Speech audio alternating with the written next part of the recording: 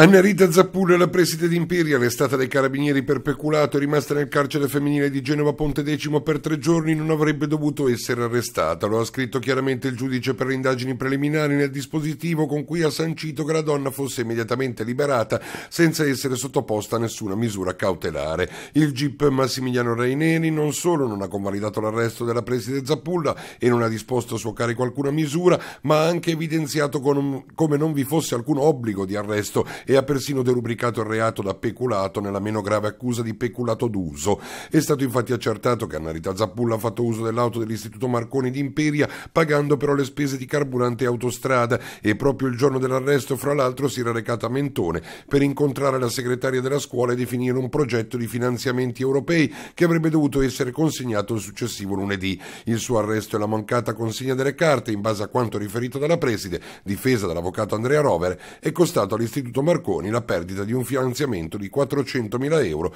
da destinare alla formazione degli studenti. La preside Zappulla in ogni caso dovrà rispondere in sede penale amministrativa dell'uso improprio in alcune occasioni dell'auto di servizio della scuola.